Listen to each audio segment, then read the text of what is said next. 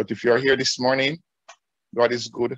Despite all the rain, despite all the challenges some persons are having in getting onto the internet, we are happy that you're here this morning. So we welcome you to our prayer meeting, Montego Bay SDA Church prayer meeting virtually. Let us pray. O great God of heaven, we give you thanks for life. We thank you for your many blessings, for your goodness, your mercy, and your grace.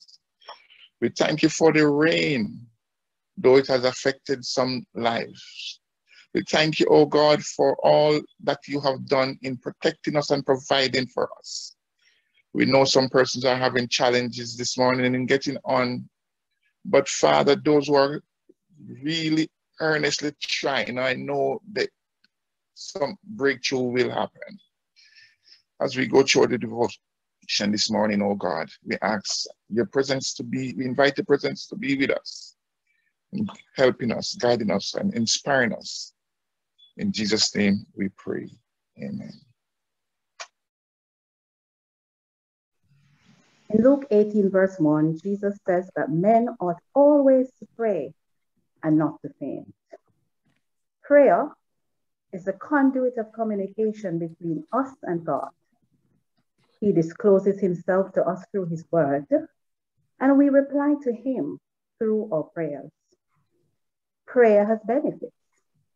So let us continue to look at the benefits of prayer. In our first discourse, we established that prayer helps us to develop a relationship with God, the God whose nature is love. In 1 John 4, verse 7 and 8, he says, Beloved, let us love one another, for love is of God. And everyone that loveth is born of God and knoweth God. He that loveth not knoweth not God, for God is love. In this episode, we will declare that through prayer, we get a revelation of God's will for our life. In Jeremiah 29, verse 11, he says, For I know the thoughts that I think toward you, declares the Lord, thoughts of peace and not of evil, to give you a future and a hope.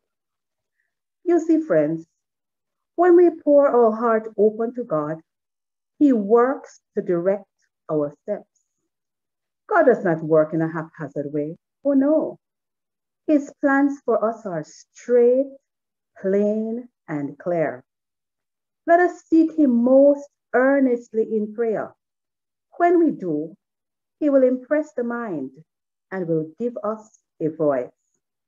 As God's people, we should be taught to fully rely on Him and not on human inventions and uncertain tasks as a means of learning God's will for us.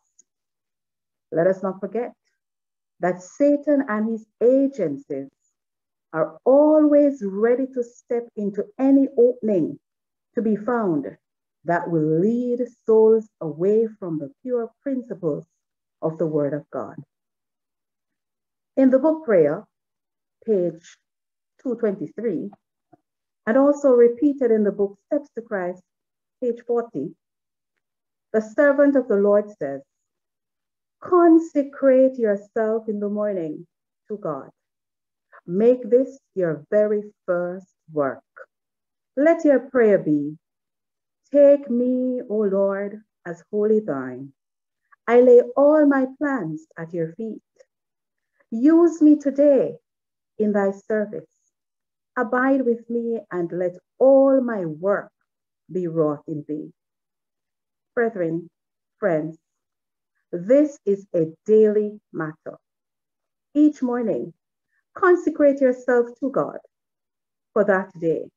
Surrender all your plans to Him so that He can carry out that which is His providence for you on a day to day basis. May it be that we give Him our lives, our total beings, Give them all into the hand of God, and thus our life will be molded more and more after the life of Christ. In Jeremiah 33, verse 2 and 3, thus says the Lord who made the earth, the Lord who formed it to establish it. The Lord is his name. He says, Call to me, and I will answer you, and will tell you great and hidden things that you have not known. My brethren, my friends, let us use the channel of communication today. Let us talk. It is now time for the spoken word. And God has provided a, a man, a young man from who hails from the parish of Westmoreland. He's a recent graduate of Northern Caribbean University. Pastor Javane Billings is an energetic preacher, energetic person who's here to proclaim the three angels' message to a dying world. I invite you to all say a prayer for him because it's all good when we have a young man who is, has dedicated his life to spreading the word of God. But before Pastor Billings comes to us, we will have a song by Sister Nicole Cunningham.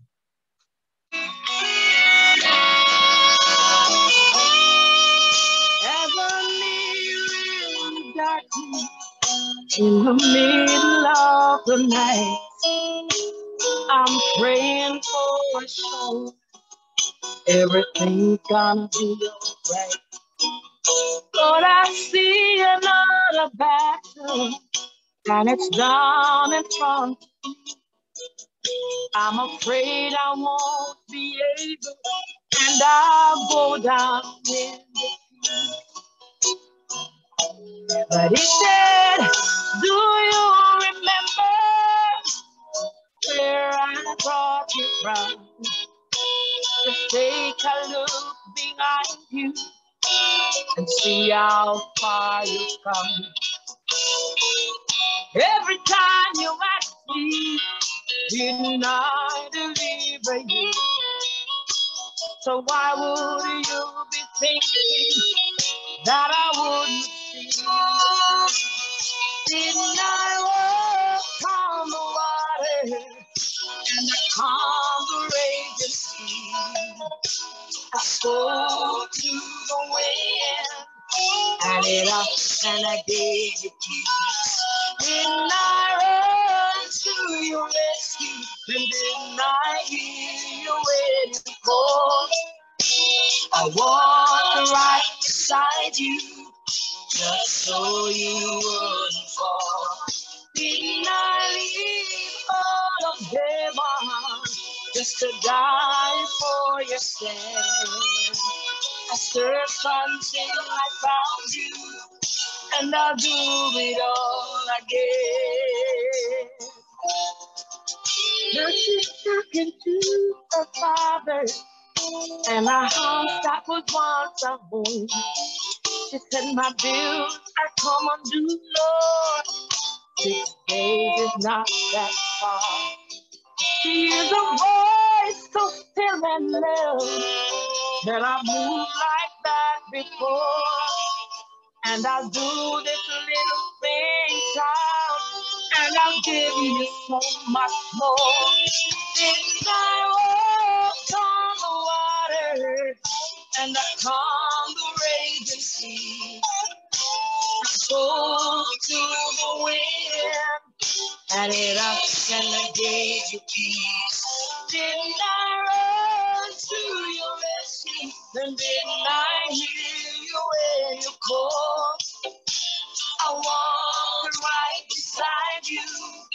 just so you wouldn't fall.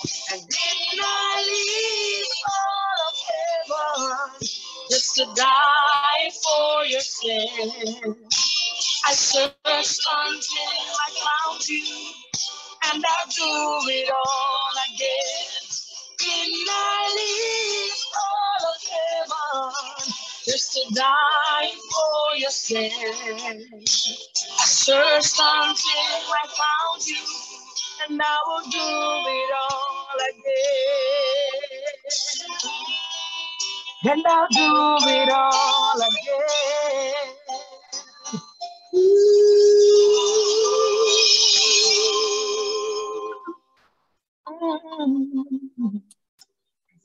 Amen, amen. Didn't I walk upon the waters? Didn't I calm the raging sea? That song is so beautiful. I love when this lady sing, don't you? Yeah, she has a way of choosing some beautiful songs sometimes these songs could have just say amen and we go home. But you're here to hear even from the word of god once more. I want to say a pleasant morning to each and every one who would have seen it fit to get up out of their bed so early. We know our week of prayer is on the early side but early in the morning we say when we rise we will speak to god and we will listen to his voice as he seek to instruct us further. I want to say thanks to my elder francis I want to say thanks to Sister Nicole for her lovely song. And I want to say thanks to each and every member who are here. I want to say thanks to my dear Elder, Elder Bowen. He is a good friend. I'll say it every time I'm here that he's a good friend of mine. And I'm so glad that he would have seen it fit to invite me once more to come and speak with you on God's behalf. Today, with our Bibles in hand, we turn back to our scripture passage, Luke chapter 17 verses 25 to 27 was so ably read by our dear sister, so wonderfully read. I, I, hope one day I can sit at her feet and she will teach me how to read so wonderful. But today we seek to get a message from God. So bow your heads with me as we pray. Loving Father, we're so happy that you are God who hears answers prayer. We're so happy that even when we whisper them, even when they're from our hearts and no words come from our lips, just like Hannah, dear Father, you hear and you grant wishes what man can't see, what man can't understand. So we pray even now for a blessing. We pray even now for those who are hurting that they may find comfort. Bless us now, we do pray. Amen. Amen. The Bible in hand, we turn back to a scripture reading.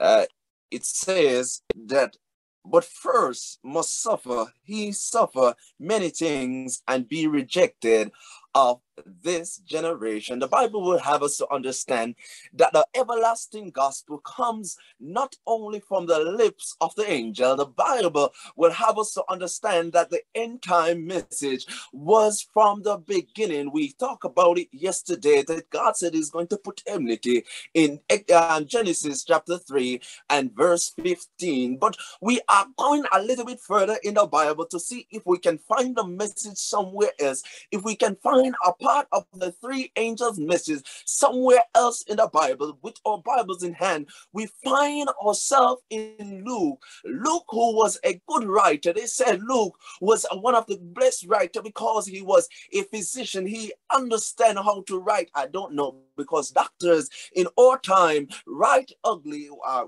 we are unable to understand. Let's say that. But writers in, and doctors in our time don't write the best way. But they say when you check the Bible, Luke's writing uh, was uh, uh, perfect in a way that he is trying to capture the scenery that he would have heard of. He wasn't there, but he is writing exactly what he would have heard that has happened. He is writing so that his readers can see and understand what the messenger was trying to put forth. If you want to understand understand Luke chapter 17, one of the best place to go and to mix it with is St. Matthew chapter 24. And I told you on Sabbath, for those who were there, that St. Matthew chapter 24 is a part of the three angels' message. And just the same, Luke chapter 17 is a part of it in telling us what the end time will look like. He is trying to capture the scenery of what our time will look like just before Jesus will put in his final appearance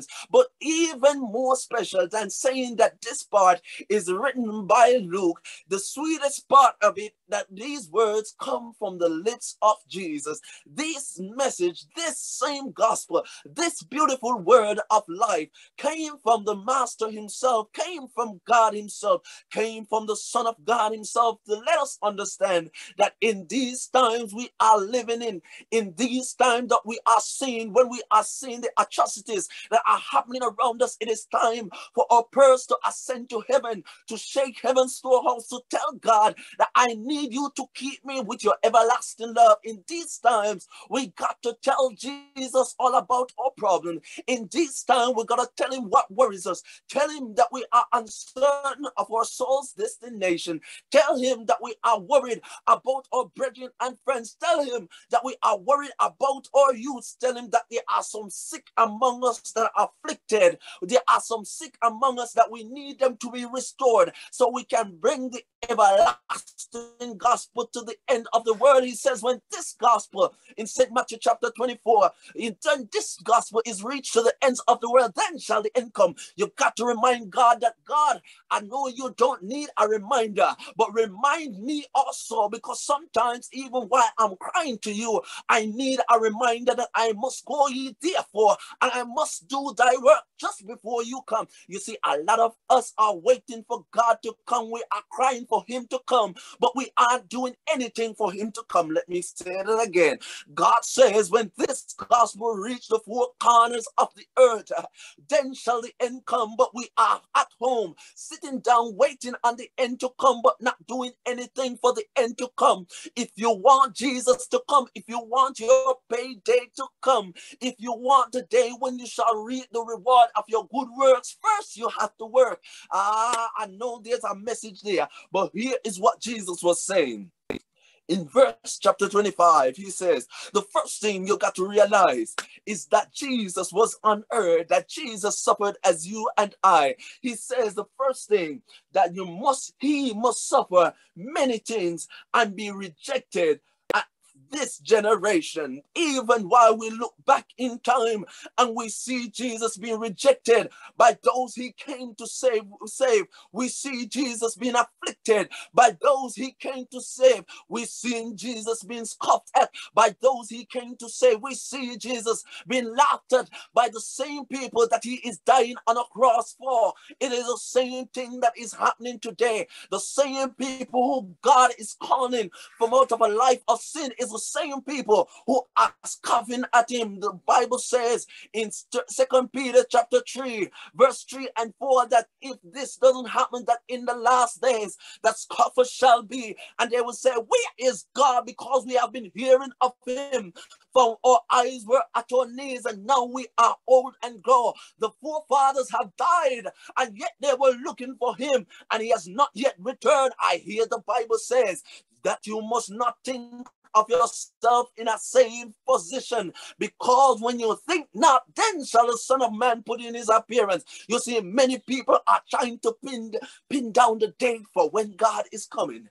Ah, many people want to know the exact minute, and so they want to wait until the last minute to get ready for God. But God is saying you need to get ready now because even though this generation is being afflicted, even though this generation is being tested and tried, even though our generation, even though the church is being persecuted, I'm telling you that your persecution, your laughters aren't just your laughters, and your hurting is not just your hurting hurting because Jesus sees, He knows, and He is there with you. He understands your pain. He understands when somebody laughed at you. I hear of experience where people go out to tell people about the love of God only to be laughed at, only to be turned away. I've seen men in my district who are laughing, saying that there is no God and we are just stupid, walking to church every Sabbath, going there to preach to a God who is dead,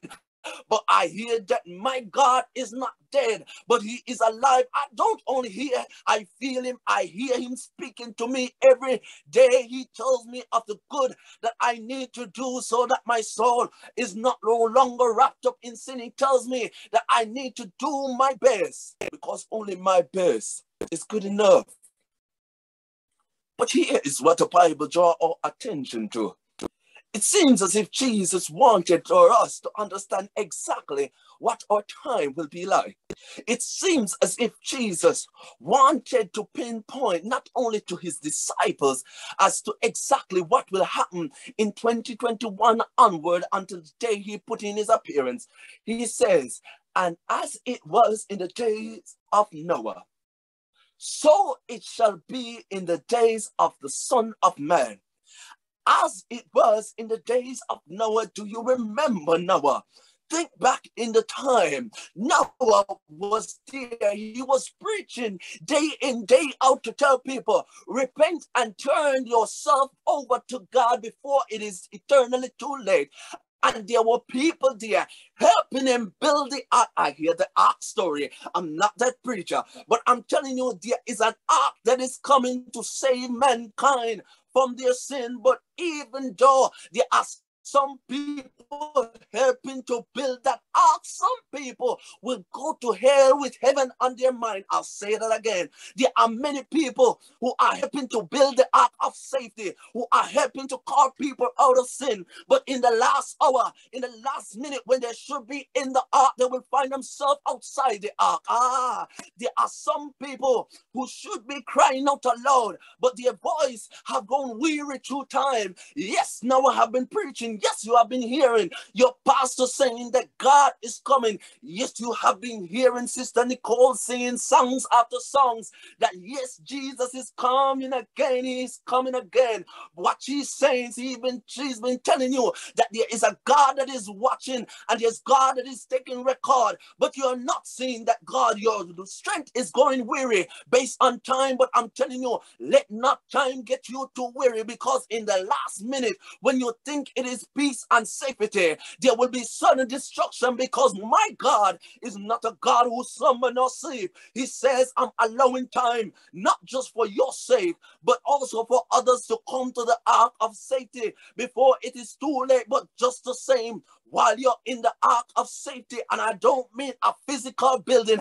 I don't mean the Montego Bay Church. I, I don't mean, I tell you, if you can be in church and out of Christ, the only ark of safety that we have is Jesus Christ. So you got to be in the ark in the days of Noah. They were married and given into marriage. Today I hear that people are getting married just for opportunity.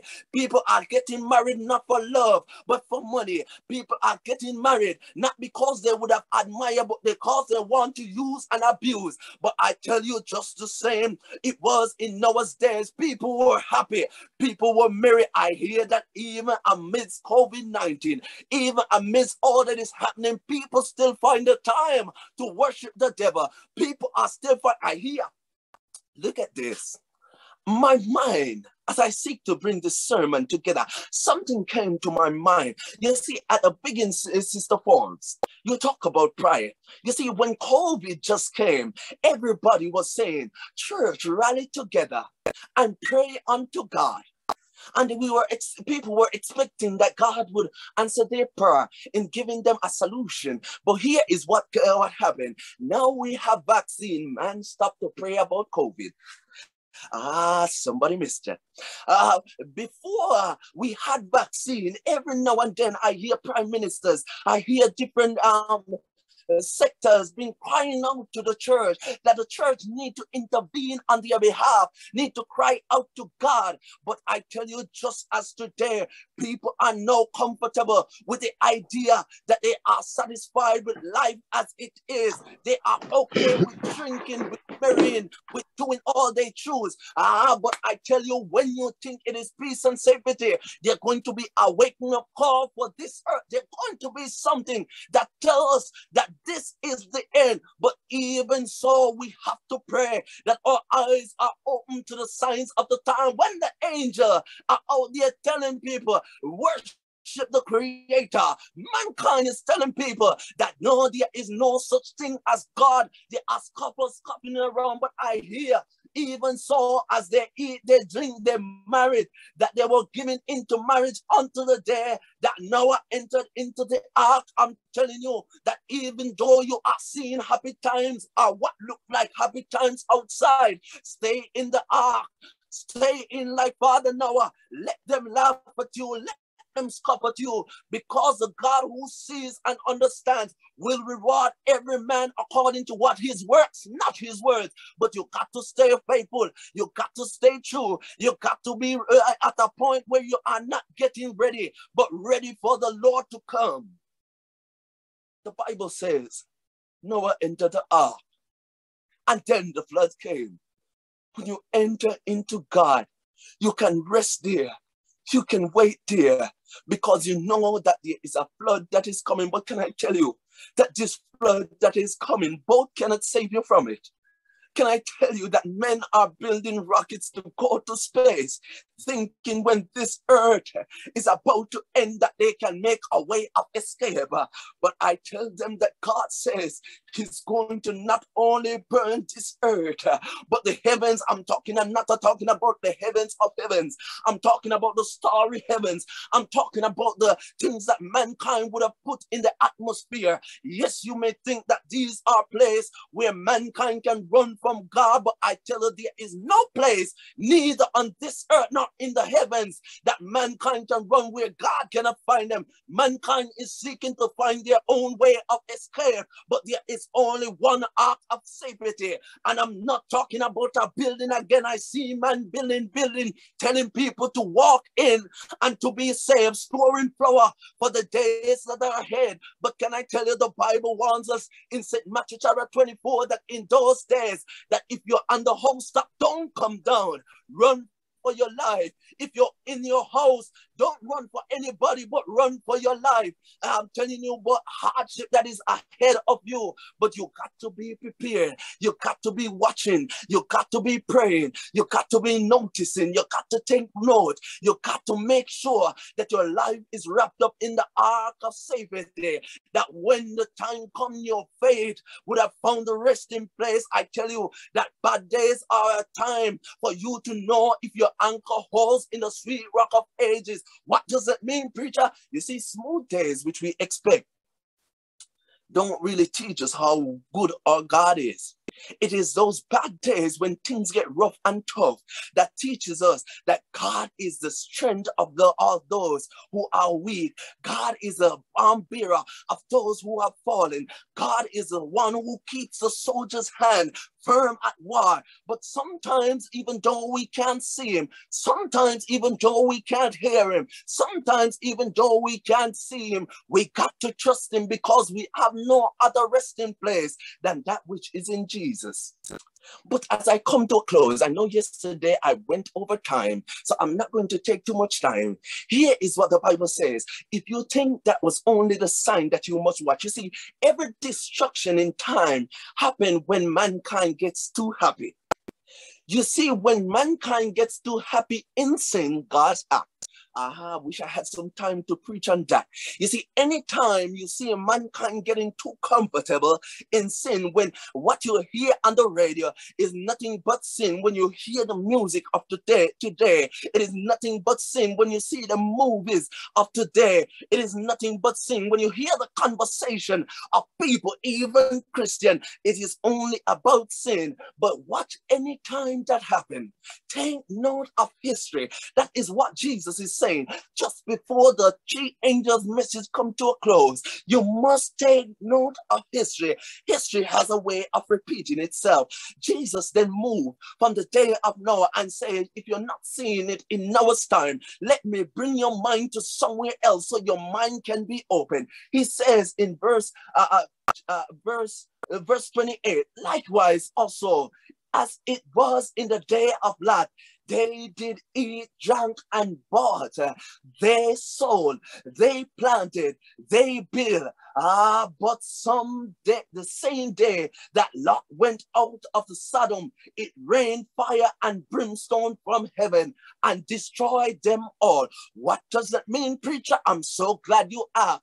Just today, you see men building, you see men planting, you see men doing all manner of things, thinking that they can satisfy not only their bodies but their soul. They are thinking that when they get these things, that it is well. But I ask a question: If you think that it is only in this life, you should have hope. Then are uh, of men most miserable. Ah, I ask you this: Are you satisfied with what you're getting? But if you're not satisfied, I have good news for you. That day coming a day when you shall leave it. I hear in lot time that mankind uh, uh, something I must get to your attention. Anytime you see sexuality move above spirituality, then be careful. In the time of Noah, they were married and giving into marriage. In the time of Lot, man did man went back to men, woman to women. Anytime you see sexuality being pushed above spirituality. Be careful. What does it mean, preacher? I'm so glad you asked. It means when you see in 2021 where homosexuality is being put above Christianity and you're saying you don't see that, let me open your eyes. When you see church are telling people that it's okay to go against the natural order of what God would have set on earth, when you're seeing people are telling church, church people that they should not preach against sin because God loves everybody. I tell you on Sabbath that God loves sinners, but he doesn't love sin. God came to seek and save you from sin, not seek and save you with your sin. Yes, you will have sin, but God says if you confess them, He is faithful and just to forgive. But I learned that mankind don't want God to forgive their sin. They want God to love them with their sin, but that cannot work because sinners cannot stand before a perfect and a righteous God. Mankind today are telling us that we must represent our love alphabet. Ah, what I'm talking about, some else, some Jesus. Ah, yes, we love them, and that's why we are telling them that they must run for their life, that they must come out of sin before it's too late. That is why we are praying for them that their eyes may be open toward the signs of the time. That we are telling them that the moment is nearing when God shall return and is going going to punish them for their wrongs, but homosexuality is pushed above Christianity in that they are telling the church that you must put away the commandments of God and worship God as to how we would have dictated. But time for Montego Bay to tell people that nobody can dictate how we worship our God. Only our God can tell us how to worship Him. Ah, it is time for Montego Bay to tell the world that it is not enough just to have a form of godliness, but it's time for them to be wrapped up and tied up because time is wrapping up. What does that mean? I know it is my wrapped up time, but I'm telling them, forget not, do not forget rather forget about the things of the world, but do not forget that yes, God is taking record. Yes, do remember that God has punished in time past and He's going to punish in the future. Do not forget the things that happened to the antediluvian world. Do not forget the things that happened to Sodom. Do not forget, because lest I forget, I will be punished. But God is saying, I have called your attention to those these things just before I put my appearance in. I'm coming to a close. I know I've said it before, but it's time for Montego Bay to continue to pray, to keep on their knees, that in these last days, that they themselves will not slip to the things of the world, but they will keep their head up. Today, we are here. We're happy that God will not leave us. I love Jesus. Jesus is a teacher who tells us things that we need to remember when we are going to get this. But I'm so happy that today that today his messages are happening. I tell you on Sabbath, do not worry about the mark of the beast. Do not worry about the things that are happening today. Fret for the souls that are going down in sin. That's what you need to worry about. Ask yourself the question Am I doing enough to save somebody from the sin debt that they are about to face? If you're doing that, then you need not worry. You need not fret. Because these signs, these times are only telling us that our redemption or payday is just at hand. It's only telling us that a time is wrapping up and God is about to put in his appearance. I know my time is up, so I'll just pray. Loving Father, we're so happy that payday is at hand. And while I didn't remember to tell your people about the topic of today, it reminds us that our payday is at hand. That while we see the atrocities, while we see all that is happening, the calamities, you said in your words, because iniquity has abounded, the love of many has grown wax cold. Today we are seeing that people are no longer in love with people, nor in love with you. You said in your commandments that a new commandment, which give us a new idea of what you want us to do as Christian, you give us a new idea that we must love each other and we must also love you. Father, teach us how to love you because we're seeing that today the love of many is going dim, dear Father, and sometimes even as Christian, we feel it to our bones. But help us to remember that payday is just at hand. Help us to remember that our good works will not go in vain. So we must work for the Master before the day comes when we can't do anything. Forgive us our many sins we ask. Amen.